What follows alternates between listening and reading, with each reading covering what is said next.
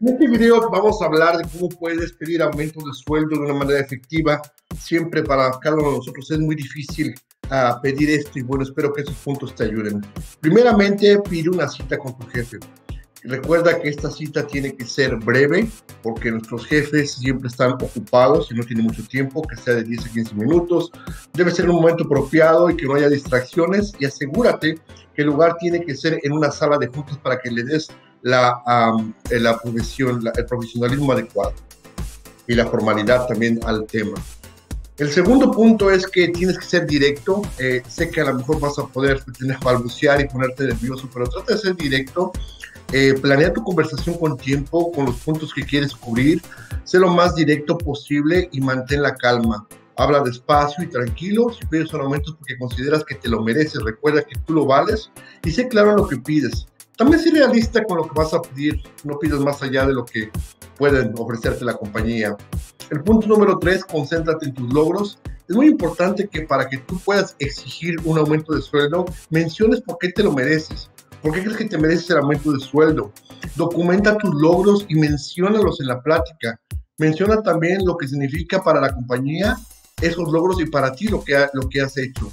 Y no te compares con otros compañeros. Es lo peor que puedes hacer mencionar a otros compañeros durante la, plática que tengas con tu jefe.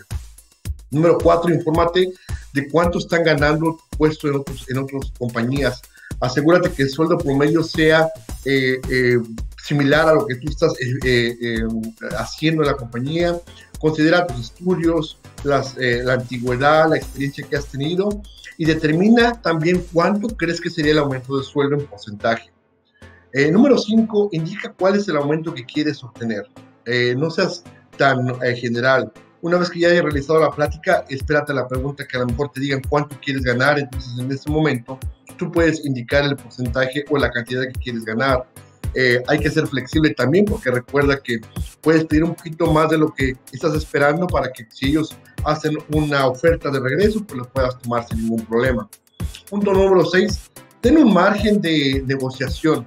Eh, en tu mente o planea cuánto sería lo mínimo que tú podrías pedir para ese aumento de sueldo, cuánto estás tú dispuesto a aceptar y cuánto tú puedes negociar. Siempre sé positivo, sé positivo en tu negociación, usa palabras buenas, usa palabras de negociación para que puedas obtener el aumento que tanto has deseado y que recuerda, te lo mereces, tienes esa, esa, esa actitud de que mereces ese sueldo porque lo has, lo has, eh, lo has ganado.